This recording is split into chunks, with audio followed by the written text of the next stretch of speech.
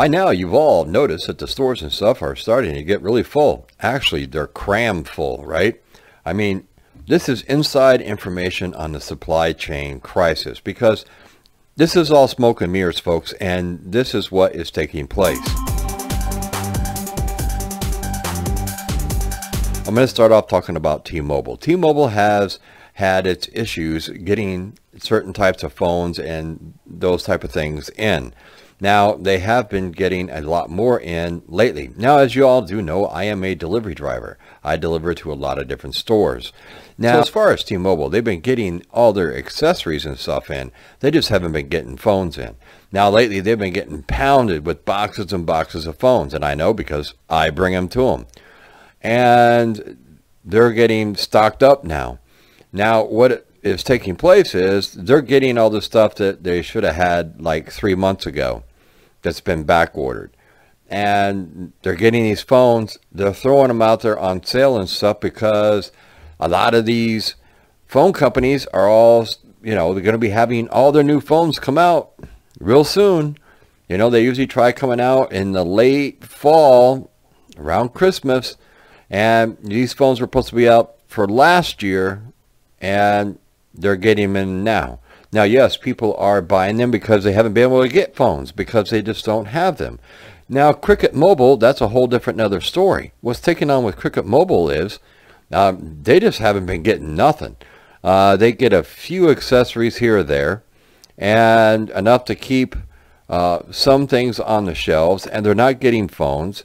Uh, on Friday, I took in a huge shipment of phones finally to the store, and they were like so happy. Uh, but they have such a long line of customers that are waiting for certain types of phones that more than likely all those phones will be gone in no time. And what is taking place with a few other different retailers.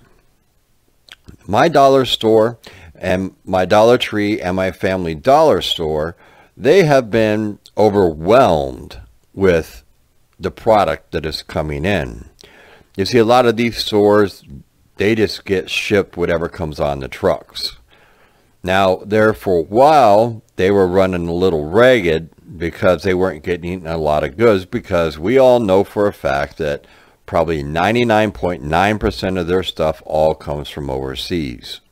Let's just face it, it's called a dollar store for a reason. Your Dollar Tree and Family Dollar are owned by the same company. Your dollar store is, you know, a different entity. But as far as the other two stores, you know, they have their own trucks and stuff that come. One is Family Dollar, the other one is, you know, Dollar Tree. What's taking place with them is, you know, their trucks come about twice a week. And whether they have room or not, they have to take it. So you may go into the stores, it's like when I walk into my store, if you look down the aisles, there's actually boxes that are just stacked because they have no place to put it. The back rooms are crammed full and everything else. And the manager from the Dollar Tree that I've known the longest, um, he was telling me that what is taking place is is they're getting all the products and stuff in finally that has been on back order for months and months and months.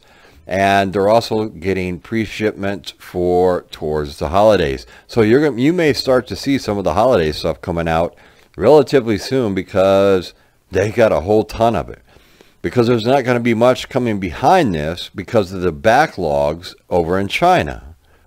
Because that's where a lot of their goods come from. Now, with Walmart, it's the same type of situation. They have trucks that are setting out in the yard. They're backed up to each other, end to end, so nobody can get in them. All right. And at my particular Walmart, they have four setting out in the yard and that are backed up end to end, and it's full of all types of goods. Now, I'm not sure exactly what it is. Now, I was told by the shipping and receiving manager that food products are backed on first. They take priority because they can't be in those hot trucks. Anything cold comes on a refrigerated unit, which means it has a refrigerated system built into the front of it that keeps the inside controlled at a certain temperature so they can just, it, it'll keep the product. Now, if it does have one of those, if it sets out in the yard, it doesn't matter because those things will kick on as long as it doesn't run out of diesel fuel. and those things will kick on. And this way here, all the food and products inside there will not go bad. So that is just part of, you know, that whole process.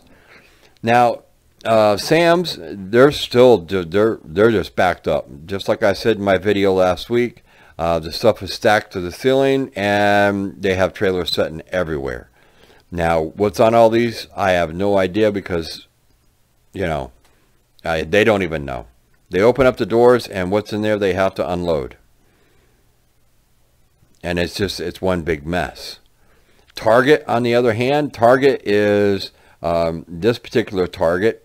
They not only do they receive, but they also ship out. So if you go online and you order something from Target.com, they actually pack up things from there. They have this huge back room and they pack it up and then at nighttime uh, we go back and we load it all on our trucks and it all goes out.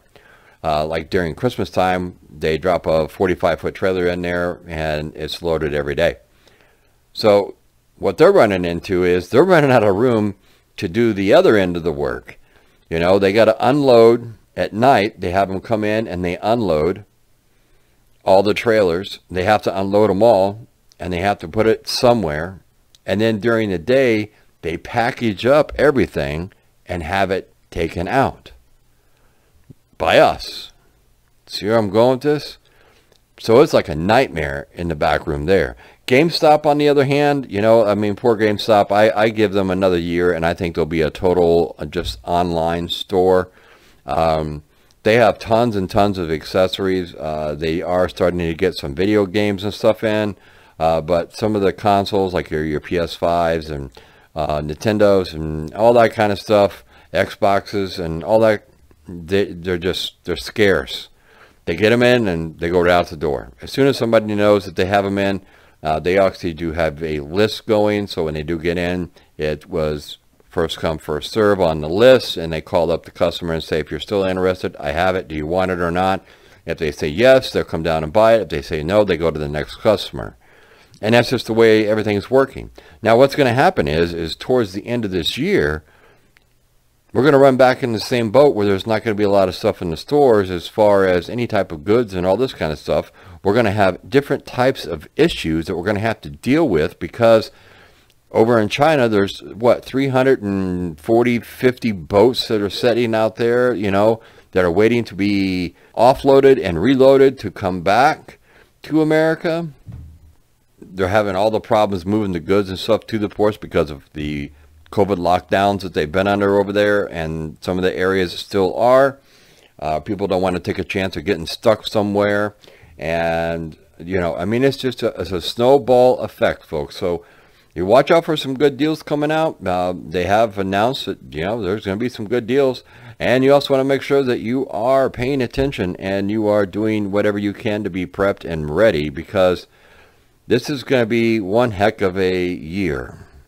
And uh, we're going to go more in depth on that on another video that'll be coming up later on this week. And I hope that everybody will stay prepped, stay ready, and make sure that you and your family can survive. So this has been Inside Information, the supply chain chaos, and the crisis that is taking place across this country.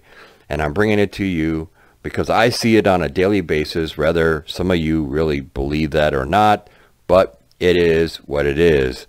Um, I have no reason to sit here and lie to you. I tell you what I see because it's better to hear it from somebody that sees it firsthand than it is from some fake news agency out there that don't know what they're talking about. So until next time, folks. I'm Survival Preparedness for Beginners, and I'll catch you all on the flip side.